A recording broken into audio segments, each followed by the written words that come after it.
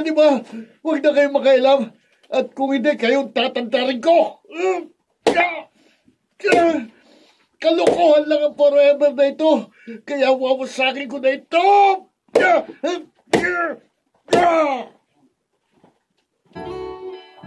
Nakapangalan nito April, May, June. Oo nga. Sabi ko na. Dapat yung mother Julia. Totoo nga ba ang salitang forever? O isa lamang itong ilusyon? Mga kaibigan, pakinggan natin ang naging karanasan ni June sa ating dunang sa kanyang panahon. Huli na ba? Oh, Ito lang, April, sabi sa puno. Siya sa puno. eh. Yan,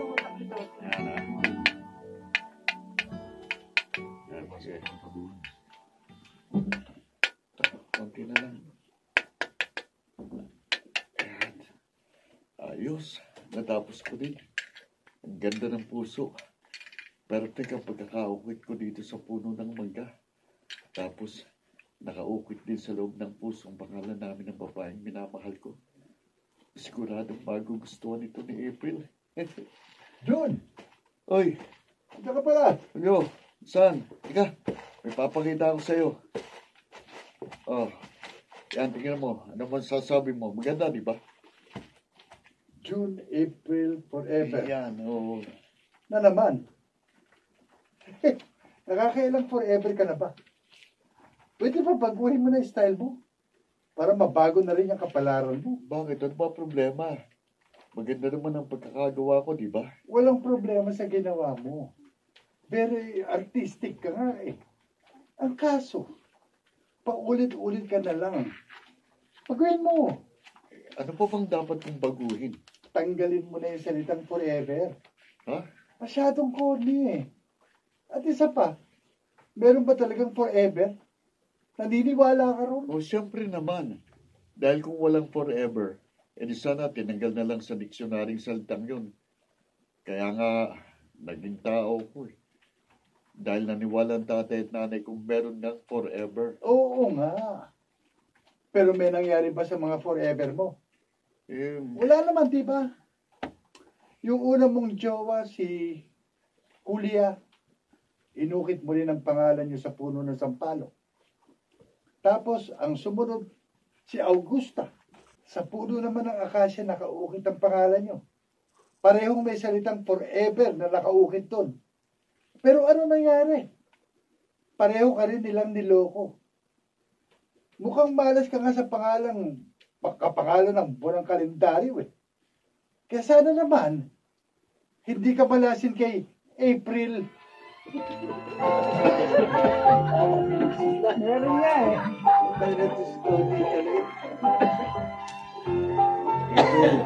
Meron pa kami eh. April. April, halika sa bukid. May papakita ako sa'yo. Ano yun, June? Basta, may papakita ako sa'yo. Hmm? Sakala lang, tinatamad ako. Sige na, pinaghirapan ko yun eh. Gusto ko lang malaman kung anong magiging reaction mo. Eh, tinatamad nga ako. Sakala lang. Eh, bakit ka pa ganyan? Hindi ka ba interesado sa mga bagay na ginagawa ko para sa'yo, sa atin? Eh, bakit ba? Ganyan ka rin. Hindi. Tama ba? Tama. Naman. Oh, pero mas appropriate, mas Bakit appropriate ito. Bakit ka rin ganyan? Bakit ka rin ganyan? Ganyan. Hindi ka ba interesado sa mga bagay na ginagawa ko para sa'yo, sa atin? Sa atin? At bakit ka rin ganyan? Hindi ka ba marunong umintindi? Ha? Mahirap bang intindihin ang salitang saka na lang? Pero sige, kung talagang desidido ka, sige, dalhin mo rito yung bukid para Ah? makita ko ang gusto mong ipakita. Yung, yung puno na lang, pwede? Bukid yung sinabi mo. eh. Sa mga dialogue pa ng mga Tawa na naman, pare. Enjoy na enjoy na naman. Basta kaya to, tignan na enjoy na enjoy. Oh, bakit nakasamba ko yung mukha mo? Bad trip ka sa'yo kay April eh. Bakit nga? Ano nangyari? Nag-away ba kayo? Nabibisit ako sa kanya eh. Pero yun mo, pinaghirapan kong ukwitin ang pangalan namin doon sa puno ng mangga. Oh, Pero ayaw naman niyang tignan. sana kinunan mo na lang ng picture. Pagkatapos, pinakita mo sa kanya. Hindi, mas maganda pa rin kung makikita niya ng actual. Bakit? Ano bang nakaukit mo sa puno ng mangga? Pangalan ba ninyo ni April? Pagkatapos, merong forever? Oh, ganun na nga. Oh, Ay, siya nga pala, may oh. naniniwala ka bang merong forever? Siyempre. O ikaw, June, naniniwala ka rin ba doon? Oo naman.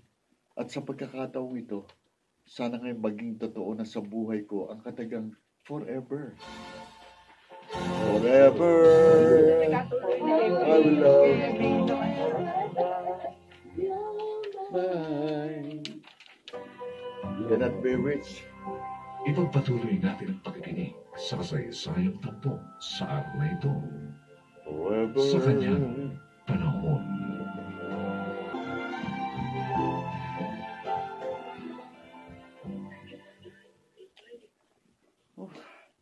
Kanina ko pa siya tinatawagan eh.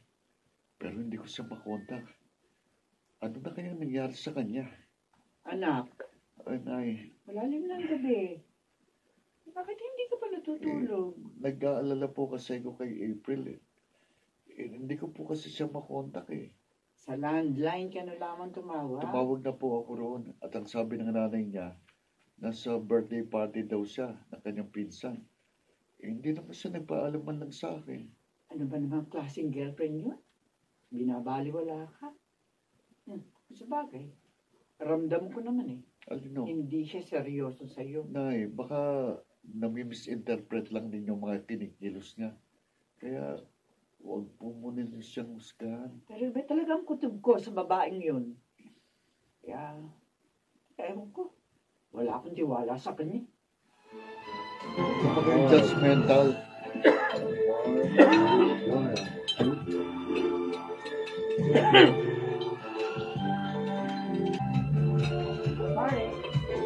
Party going on. Yes! Waiter! Yes, sir. Oh. Yes, hey, come on.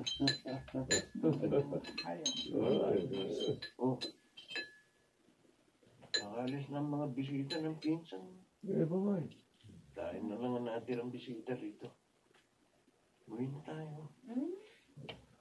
Natamad pa ako umuwi. Dito na lang ako natulog. Hmm? Ikaw, Mark. Okay ka lang ba? Okay lang, kaya ko pa umuwi. Hindi pa ako lasing, pero masakit na ulo ko, kaya uwi na ako. Wag na! Dito ka na rin matulog. Eh, baka aunting ko, arte naman dito eh. Ayoko matulog mag-isa. Gusto, mamo ko. Hmm. April, Kaya, pasimnahin sila. You know, bagsak pa silang lahat. Kaya tayong dalawa naman ako. Papakalanting. Aligayan. April,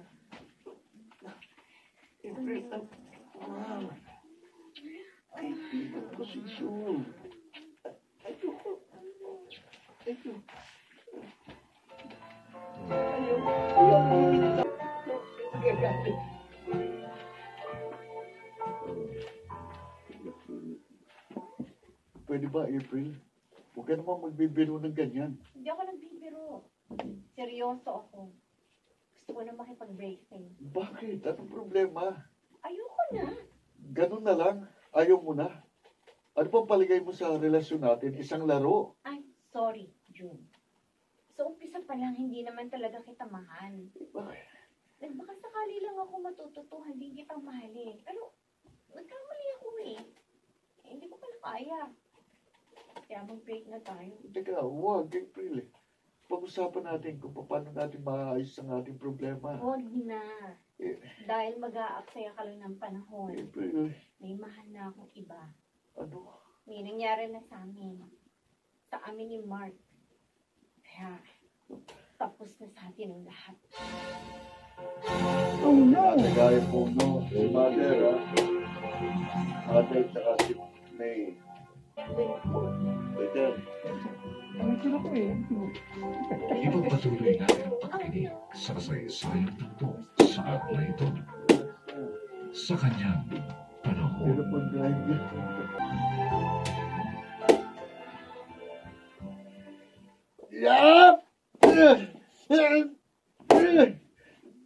Yap! Wala kang kwenta, April!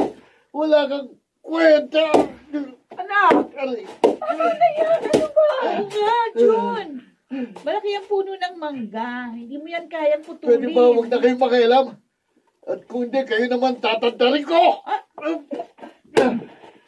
Kalokohan lang ang forever na ito! Kaya wawasanin ko na ito! Ah! Ah! Ah! Wala, bahala ka itong magulit mo, no? Matagal na.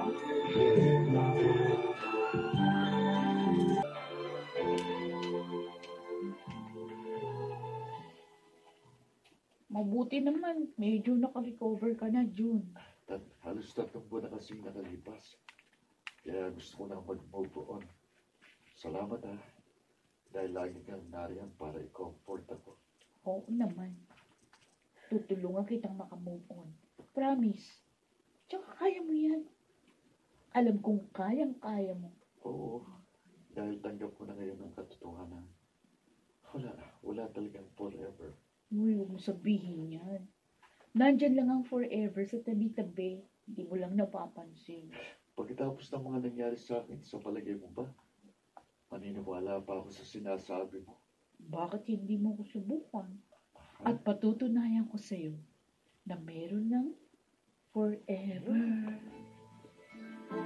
Ito, ang ganda nito. Ang ganda nito, ano?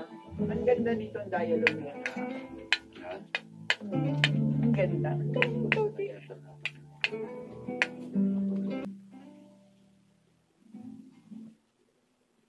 June, anak, Nay, tumingin ka sa langit.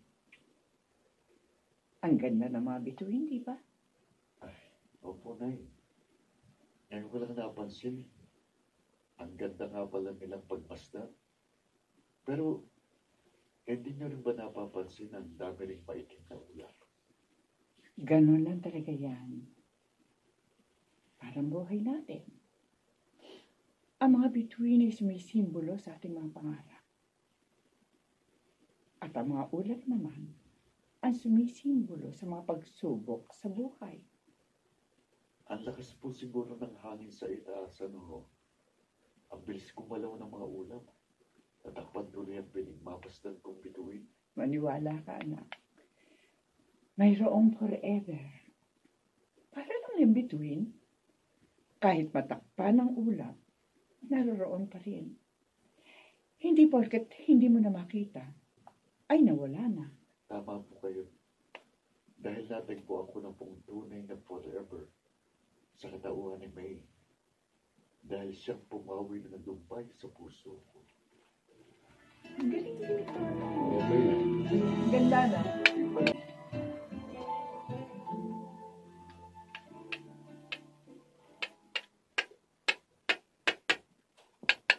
Ayan, tapos na.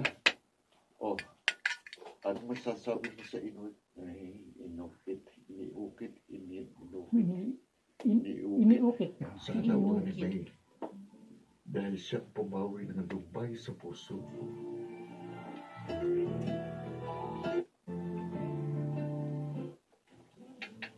Ayan, tapos na. Anong masasabi mo dito sa iniukit ko sa puno? Maganda. Pero bakit pangalan lang natin nilagay mo? Nasa na yung forever? Hindi na kailangan dahil ang forever ay sa puso natin nakaukit at mananatili yan magpakailanman. I love you, May. Mahal na mahal kita. Forever. I love you too, June. Forever. Tayo forever.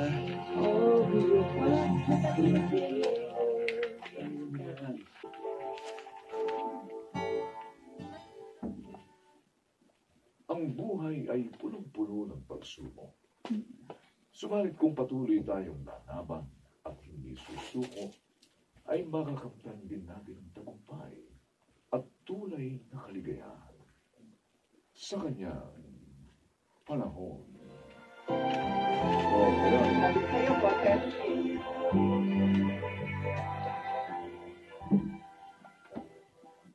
Mga nagsiganap, Phil Cruz, Chiquit del Carmen Amor, Rosana Villegas, Lionel Benjamin, Susan Robles, at Bobby Cruz. Special sound effects, Bernie Lascao. Technical supervision, Bong Muyar at Eric Lucero. Musical scoring, Buboy Salonga. Ang kasaysayang ito'y mula sa panulat ni Toti Sandoval. At sa pinagsamang direksyon ng inyong lingkod, June Martin de Gaspi at Robert Bobby Cruz. Sa kanyang panahon.